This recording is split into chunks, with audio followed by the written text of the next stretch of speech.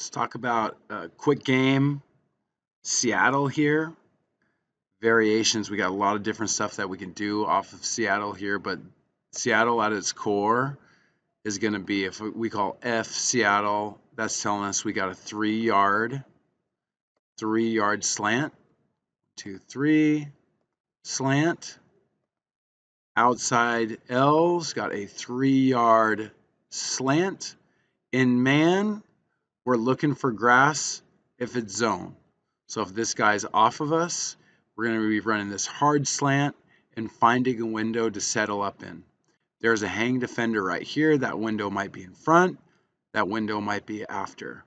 But it's really important that we identify whether it's man or zone. We know in man, we're running away from our guy. We're beating our guy. If it's in zone, we're finding grass. We're settling into it and showing our hands.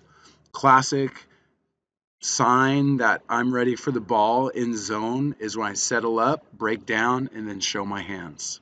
Okay? We look on the other side. This is what we do on really all of our quick game is we got backside three yard slant to the middle, find find a window. Then we also have a pre-snap read here to six yards, hitch in zone, or keep climbing on the dig if they're in man. How we can tell they're in man or zone is if that corner is up in their face, if their body language is really intense. That is classic I'm in man body language. If they're loose and off, that means generally means that they're in zone. They can be facing towards the towards the center too, cheating their body language facing that way, playing off. That's usually classic sign they're in zone. Our H right here is either going to run a swing or a shoot. Either way, Let's just say we're running the swing right here. Take three hard steps. Your head down, starting to starting to look into the quarterback on the third step. Quarterback, you go up to the line. You see if they're in man or zone. If they're playing way off right here, feel free to take the six-yard gift right here on the hitch. Take that right away. We don't like that look right here. If they're in man, we are looking one, one to 2, pre-snap 1 to 2, excuse me.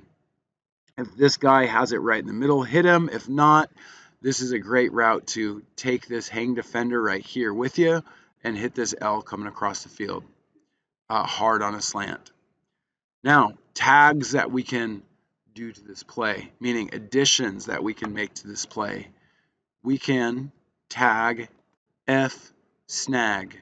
And what that is, it's an eight yard corner. I think it's off the screen. Let me put it back on the screen. So eight yards and break to the corner. I know that's not eight yards, but I'm taking you off the screen to the screen. That's snag. So anytime we call snag, snag, what that means is two guys are running a slant and a corner combination. If we call tag F arrow, that means we got a arrow route to go along with our snag. Great route to do in man. Weak side still has the, the offside still has the same same kind of responsibility. So that's kind of our quick game. We call that Seattle with a tag of a corner. We call it a snag route, snag combo, or a tag F arrow. If we move out of trips, we call this left, but trips meaning three receivers to one side, we would just call it left. If we're running Seattle out of left, we have a three-step slant, we have a three-step slant, and we have a arrow route.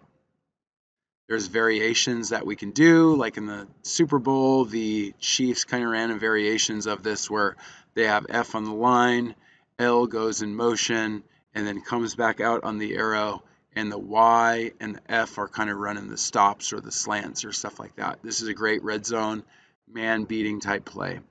So that is Seattle out of left. Can also be done out of right, meaning three receivers to one side, trips to one side.